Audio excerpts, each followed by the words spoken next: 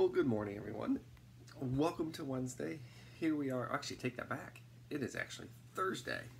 So, welcome to Thursday. It's just before 6 a.m. And what I'm doing today is actually I'm going to go with the thought of the day here a little early as opposed to the activity. Um, so consider this just a free day for your activity for the old throwback Thursday. But what I wanted to talk about today um, is really understanding practice. Um, you know, practice isn't protect yourself from failure. Practice isn't perfection. Practice is a time to work on either developing a new skill or pushing the limits of an existing skill, trying to master an existing skill.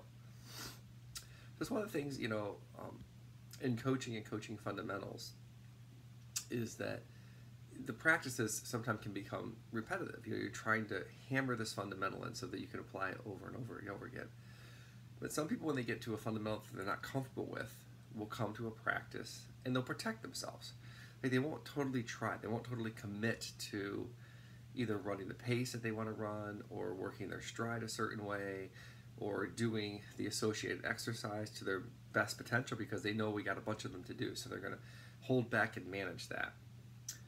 And then some people go there and say, okay, you know what? Uh, I've already got this one. You know, so they don't really focus on it. They just kind of they're, they're talking. Oh, I know this one. I don't have to worry about it.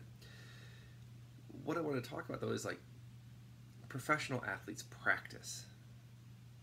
You know, when you watch basketball players, NBA players warm up, like they still shoot three throw free throws over and over again. When you watch a quarterback, you know, he still just does simple little passes, just kind of throwing, getting everything ready to go. Practice has to be purposeful. And it is a time to work on mastery. Some of the simplest drills are the hardest because you have to stay engaged mentally to do them. So sometimes they seem really, really, really easy. It's like, yeah, just kind of going through the motions. But you really want to take that opportunity instead of going through the motions. Is once again to either go through slower, or maybe go through them faster. Whatever, whatever the drill is. You do want to practice, like legitimately practice.